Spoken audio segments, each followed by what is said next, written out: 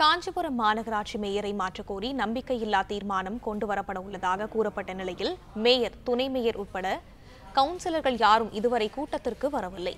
இதை பற்றின மேலும் விவரங்களை எமது செய்தியாளர் ஸ்ரீராம் வழங்க கேட்கலாம். ஸ்ரீராம் வணக்கம். விவரங்கள் என்ன? பகிரலாம். காஞ்சிபுரம் மாநகராட்சியில் ஐம்பத்தோரு வார்டுகள் கொண்டவை. இதில் முப்பத்தி மூன்று பெரும்பான்மையுடன் யுவராஜ் மகாலட்சுமி யுவராஜ் என்பவர் மேயராக கடந்த மூன்று ஆண்டுகளுக்கு முன்பு தேர்வு செய்யப்பட்டார்.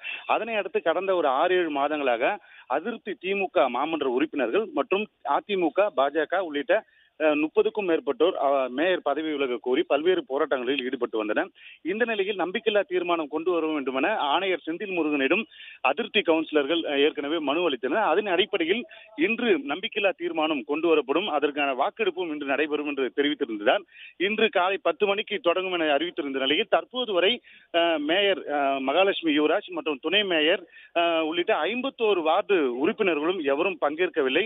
இதில் ஏற்கனவே திமுக சார்பில் புறக்கணிக்கப்படுவதாகவும் தெரிவித்திருந்தார்கள். இரண்டு குழுக்களாக பிரிந்து இசிஆர் பகுதிகளில் முகாமிட்டிருக்கக்கூடிய இருபத்தி ரெண்டு திமுக மாமன்ற உறுப்பினர்களும் எவரும் வராதன் காரணமாக சுற்றுலா சென்றதன் காரணமாக தற்போது யாரும் இல்லாத காலியாக இருக்கை உள்ளது. தற்போது இன்னும் சற்று நேரத்தில் ஆணையர் செந்தில் முருகன் அறிவிப்பானது ஒன்று வெளியிடுவார். பெரும்பான்மையான எவருமே பங்கேற்கவில்லை. இந்த நம்பிக்கையில்லா தீர்மானம் ரத்து செய்யப்படும் என தெரிவிப்பார். அதனை அடுத்து மீண்டும் நம்பிக்கையில்லா தீர்மானம் கொண்டு வர வேண்டும் என்றால் ஒரு ஆண்டுகளுக்கு பிறகுதான் அந்த நம்பிக்கையில்லா தீர்மானம் கொண்டு வர வேண்டும். இதனை அடுத்து தற்போது இந்த கூட்டமானது ரத்து செய்யப்படுவதற்கான அதிக வாய்ப்பு இருக்குது. தற்போது ஒருவர் கூட மாமன்ற உறுப்பினர்கள் எவரும் வரவில்லை.